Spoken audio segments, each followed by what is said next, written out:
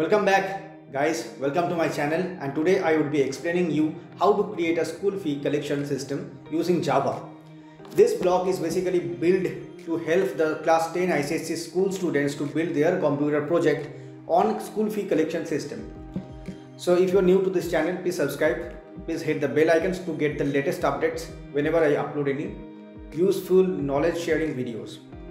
So I'm a software developer and a mentor. I help students to uh, guide them in their uh, coding coding grounds and in their science subjects. So you can follow my content and let's start. We would be discussing about school fees collection system. So uh, in this video, what what are the things that you would learn? You you would learn how to make that particular program, Java program, to uh, make a school fee collection software. You would understand the basic concept so that you would be able to uh, answer the Viva questions that would be asked. So please watch the video minutely so that you can get the Viva questions and their answers.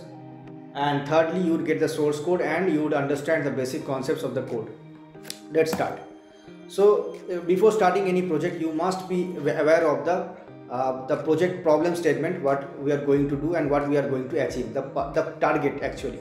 So this particular uh, project is on school fee collection system so here what uh, students can they can uh, they can uh, pay the school fees. They can uh, pay the school fees according to, to their classes and the sections. So the program would be asking the standard in which standard the student is currently studying and their section their name registration number and all those details will be taken as input from the students. So this is the problem statement. So we will be taking some inputs some relevant details from the students and our program would be intelligent enough to calculate the total fees of the student for that month. And then they would print the bill. And then again it would ask the user that do you want to bill the next student? So basically this uh, program what we are designing this is actually built for helping the counter person who is sitting in the billing counter of the school so that they can bill according to the sections or the classes of the students okay by putting the details. What is your name? What is this thing that thing? And they would enter in the computer program and the program would generate the bill and print that so this is our school fee collection software that we're going to build. It's a console based menu driven program. So in the next uh, slide you are going to see that what is the approach of our uh, program and how we are going to build that. So we will be doing a menu driven program. It's built by uh, by choice inputs. So we would be uh, asking the user some direct questions like name what is your class what is your section what is this and that. So that would be direct questions. That is one aspect there is a console input aspect. And using console input another thing we would be doing that is menu driven program. We would giving a menu and that from that also we can pick it up. Or we can also give them as choices like yes or no or do that or this thing. So press this one this key or that key. So this is a choice driven approach. Based on the choice input by the user our program would act accordingly.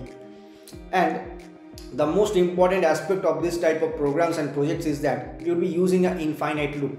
Because the counter person sitting in the school fee collection uh, counter he, he or she does not know how many students parents are coming and would be paying the fees that day right? It's totally unpredictable how many students are going to come. So we have to use a, a infinite loop which would only be controlled by the counter person.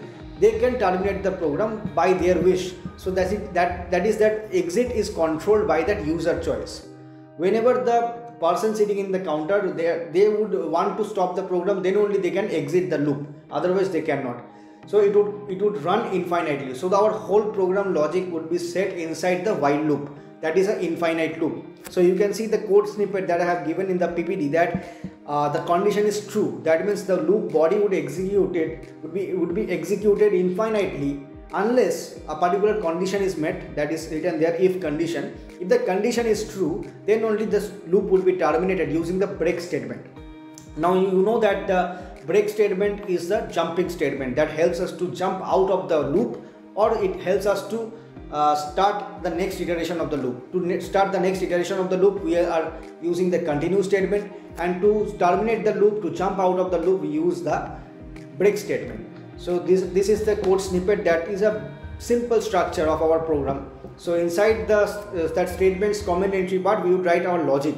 And to stop that loop we would use a condition the exit condition so you can pause the video and take some notes because these things are the basic things what our programs are using and you can expect some viva questions related to this stuff moving on to the next slide you can pause in between and uh, take some notes or some diagrams you can draw that's all now another important aspect is that we are using console input now console input means we are taking input from the console window. The console window is the terminal window where our program is getting showing us the output. That terminal window is the runtime environment or the runtime uh, situation. So we are taking the input from that runtime situation dynamically. Our program would be feeding the data with data streams using data streams from that console. To do that, there are some special classes provided by Java. Two of the classes, one of them is buffer reader, another one is the scanner class in this project we are going to use the buffer reader class and this buffer reader class sits over means it's contained in a special package provided by java that package is called io package. Io package. And a package is basically a set of classes a collection of classes. So we have to import that io package in our program in order to use that particular class. The syntax is shown in the ppt slide you can see. In this way, we declare an object of buffer reader and we use that. There are some special methods in buffer reader class which helps us to read a line from the console window and utilize that in our program that we will be doing. Okay, so th this is the console input part. You can take some notes, you can pause the video, rewind that and you can hear it again. So console input is the basic aspect that I have discussed in this slide so you can get these resources whatever i'm explaining and what is the uh, concept behind this particular project you can find it in the www.onlinestudysmart.com this is the website that i have designed and i have just uh, put and uploaded this type of stuffs in technology contents over there for the benefit of the users. So you can find free content over there and get enlightened. And this is basically I have built it to generate or to create an open source development community to help the users. Now let's see the source code and uh, we see that how it's going to run. So let me quickly explain the source code and uh, then we can uh, run that and generate the output and we can see how it's working so see I have imported the IO package. That is the package which contains the buffer reader class. And then I have created the buffer reader object which will be utilized to create the console input.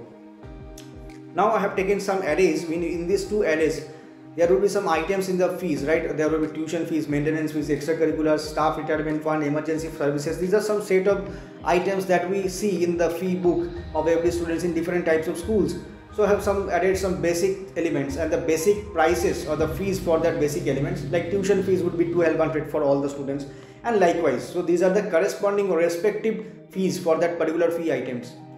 Now inside this giant uh, uh, while loop i have what i have done i have put all the logic inside that while loop. So this particular piece of code would be executing infinitely unless the user presses no unless the user presses no and terminates the program. So this will help the program to run exec to ex get executed infinitely and the exit will be controlled by the user only. So next what we are doing we are asked we are printing that welcome to this school uh, collection system. Instead of abc you can write anything you can change the source code. And then we are asking some details we are taking console input from the user some details like registration number name of the student the standard in which class the student studies the section of the student and all those things we have taken as input registration number name standard and section then what i have done i want i have asked the user that whether that particular student uh, avails the school transport or not. If the if the person avails school transport, then he has to give this transport fees. So that's why I have taken that input and I have added that cost also. So fee items of student and fee items of that of these two arrays are responsible for storing the fee items. Okay, if someone may have transport and someone may not have transport. So these things are stored dynamically in these arrays. And after storing those things, what I have done, I've also I have also checked a logic like uh, after class 8 there will be computer practical and the students will be taken to the computer lab so if the students are from 8 to 10 or from 10 the above the 10 means 11, 11 and 12 if they are in the section A means in the science stream they would be paying the lab, laboratory fees. They will be taken to the physics lab chemistry lab biology lab or in the computer lab. So they have to pay the laboratory fees. So then only I have added. Otherwise I would I would not be adding the laboratory fees. So these are some dynamic logic which have we have to add based on the section and the classes of the students.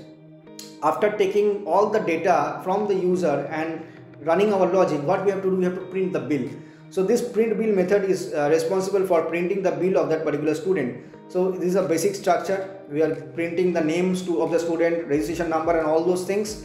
I have to print the bill number just randomly. I'm generating with using the Math.random method. And then i am printing all the elements whatever the fee items are there. Okay this uh, maintenance fee this fee that fee and corresponding fees side by side. We are printing that in a tabular manner. Okay using this loop you can pause the video and take the screenshot as well and can note the codes as well. And then after printing that i am summing up all the fees and creating the total amount and i am printing that. So that's how we are printing the uh, bill of that particular student for that month. And then after printing the bill for that particular student now we have to process for the next customer or the next parent who is standing. So i am asking that this is actually asked for the counter person that is there any other student you want to continue to the next fee collection? If he or she presses yes then we are continuing. Continue statement would be jumping over to the next iteration and again it would rerun the same code again and it would process the next registration or next fee collection of the next student. And if the user presses other keys other than yes or y then the program would be terminated because because break statement we have used here in the else part. So it would break the loop this while loop that would be broken and it would terminate. Because after the while loop we have nothing no code so it would terminate the program. So that's all about the source code. You can uh, take the screenshots and type it according to your choice and you can manipulate also take some notes. And next i would uh, compile that and i would run for you what is the output and how to generate that output also I will show you. So let me run this one I created the object. Now let's start the school filiation so we have to first input the registration number of the student. So suppose the registration number is this one. Now name of the student. Uh, put my name. Which standard? Suppose I study in class 12 the section section A. Do I avail school transport? No, I go by my cycle. So I am not uh, opting for the school transport. So I'm pressing N. So my bill is printed. So my name, my standard, my section, everything is getting printed. Tuition fee is this one, maintenance fee, all the fees. Suppose the since I am in section A in the science stream, so I have to pay computer and lab maintenance fees, and this is my total 3,350 and then it is asking whether you want to continue for the next uh, fee collection suppose I want to press yes so everything is getting erased and again the next student processing is taking place. So what is the code that is responsible for erasing everything that is done using this backslash f? Backslash f is an escape sequence character which erases everything that is behind that. Means in the terminal window it erases and then again prints whatever is after that. So it helps us to erase and clear the screen time to time. So whatever uh, we would be doing here we can run another for another student. Suppose the registration number is this one. And what is the name of the student is? And then we are putting the student section is 7 so no lab fees. Keep in mind let's transport yes he or she he takes the transport. So see here there is no lab uh, lab fees. So because he is in class 7 no practicals are done for. It so now the price is this one now for taking the screenshot you can uh, press n and stop this and then you can copy this one for your output and you can paste in your word file and work according to your project uh, guidelines. So that's the output screen so that was all about this school fee collection software and you can take the guidance from the onlinestudysmart.com there you can go to the blog section and uh, click on the respective blogs the respective projects what you have and you study from there. You can do that so it takes a lot of time and lot of efforts to create this type of blogs and this type of videos for you. Only for you is for it's just a free content for you. Because I have I have heard that many people are doing business taking some money with this type of project stuffs etc but that's not desired and that is not uh, good. So you have to study by your own study from the online resources free resources and uh, invoke a culture and nurture a culture in you to become an open source developer a coder. If you are coding enthusiast so you should learn about open source coding. So i'm going i'm creating actually an open source development community in onlinestudysmart.com you can join us and get and take part in different kind type of coding contests or any workshops whatever we are going to organize later part. So subscribe the channel and hit the bell icon to get the latest updates. And please please please you have to subscribe because it takes a lot of efforts to create a creative content for you.